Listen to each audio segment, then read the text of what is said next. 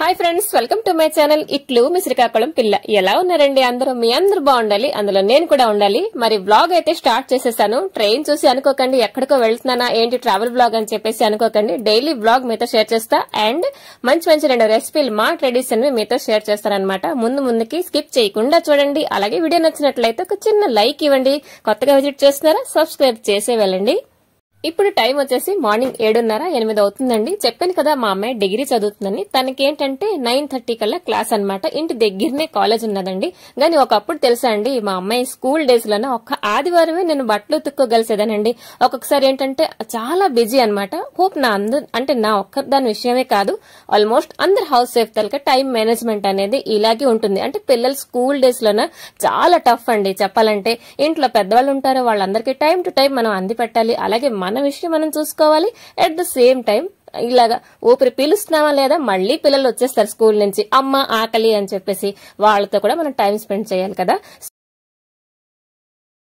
మరి ఇప్పుడేమైనా free time దొరుకుతున్నదో అనుకుంటున్నారా? అలా కూడా లేదండి. ఏదో ఒక పని అలా ఉంటూనే ఉంటుంది. మనకి చెప్పాలంటే వంట పని అయిందా లేకపోతే తర్వాత క్లీనింగ్ పని.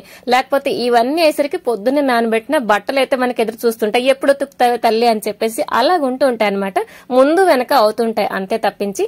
సో ఇక్కడ చూస్తున్నారు కదా ఫస్ట్ అయితే నేను ఆవు పాలు తీసుకుంటానండి. రోజును అదైతే మరగబెట్టేస్తాను. అండ్ చల్లారేక తోడు పెట్టేస్తాను కూడా. అండ్ ఇంకో పక్క చూస్తున్నారు కదా పపాయ అయితే ఉడకబెట్టేస్తున్నా. కొంచెం సాల్ట్ వేసి వేసేసి ఉడకబెట్టేసానండి అండ్ ఈ పపాయ అయితే ఒక్క ఆవు పెట్టిన కూర అయితే మేము ఇష్టపడతాం అనమాట ఇప్పుడు చెప్పాలంటే ఇవాళ రేపు పిల్లలు అసలు పపాయ తినడానికి ఇష్టపడరు. చాలా హెల్త్ బెనిఫిట్స్ అయితే ఉన్నాయండి. ఈ కర్రీ మటుకు మీరు ఒక్కసారి తప్పకుండా ఎప్పుడైనా ట్రై చేయండి.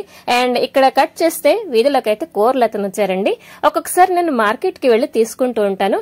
వీధిలోకి ఒకవేళ ఏమైనా వెరైటీస్ వచ్చాయంటే అది కూడా తీసుకుంటానండి. సో అన్ని కూడా మన లైఫ్లో ఎంజాయ్ చేయాలండి చెప్పాలంటే. సో ఇక్కడ చూస్తున్నారు కదా నేనైతే ఈ రోజు కందిపొడి చేస్తున్నాను అనమాట ఫస్ట్ అయితే నేను కడాయిలోన కందిపప్పు డ్రై రోస్ట్ చేశానండి. ఈ కందిపొడి తలక రేషియో ఎలాగొస్తుందంటే ఒక కప్పు మనకి కందిపప్పు తీసుకున్నాం అనుకోండి హాఫ్ కప్ వరకు మనం శనగపప్పు తీసుకుంటాం అలాగే హాఫ్ కప్ మనం పెసరపప్పు తీసుకుంటాం అనమాట ఇవన్నీ విడివిడిగానే నేను ఫ్రై చేశాను. ఎందుకో తెలుసు కదండి మన అందరికి పెసరపప్పు చాలా సన్నంగా స్లిమ్గా ఉంటుందన్నమాట. దానితో గాని మనం శనగపప్పు కలిపేసాం అనుకోండి శనగపప్పు కొంచెం దొక్కుబాబులాగా ఉంటుంది.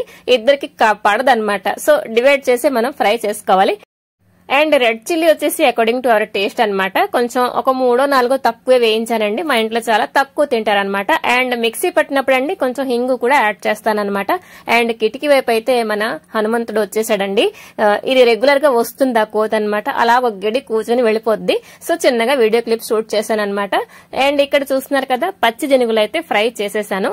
అండ్ ఇక్కడైతే నేను పపాయ ఆవు పెట్టిన కూర చెప్పాను కదా. ఫస్ట్ అయితే కడాయిలో కొంచెం ఆయిల్ వేసుకున్నానండి. ఆ తర్వాతే ఉడికించిన పపాయ ముక్కలు కూడా యాడ్ చేసేసాను. అండ్ ఆవు పేస్ట్ వచ్చేసరికి కొంచెం ఆవాలు అండ్ కొంచెం పచ్చి నువ్వుల పప్పు అయితే కొంచెం నానబెట్టేసేయండి. ఆ దానికి మిక్సీ పట్టేయండి. మీరు అనుకోవచ్చు ఆవు కూర అంటే చేదు వచ్చేస్తుంది ఎలా తింటాం పిల్లలు ఏంటి పెద్దవాళ్ళం కూడా తినలేమని చెప్పేసి అనిపించవచ్చు కానీ మనం నువ్వులు కూడా యాడ్ చేస్తుంటాం. ఒక్కొక్కసారి కొంచెం బియ్యం కూడా యాడ్ చేయండి. సో దట్ మనకి ఏంటంటే చేదు అనేది అస్సలు రాదు. ఒకసారి మీరు ఫస్ట్ ట్రై చేయండి. ఎలా అండ్ మీ ఇంట్లో కూడా అందరూ ఇష్టపడే తింటారండి. ఇదైతే నేను పక్కాగా చెప్తాను. ఇక్కడ ఏంటంటే అమ్మతో చిన్నగా కబుర్లు ఆడుతున్నానండి ఏంటంటే ఎదుర్కొండా చిన్న అమ్మాయి స్కూల్కి వెళ్తున్నప్పుడు ఏడుస్తున్నది అనమాట సో ఆ విషయం అయితే అంటే మా అమ్మాయి చిన్నప్పుడు కూడా ఇలాగే కొన్ని విషయాలు అయితే జరిగేవి.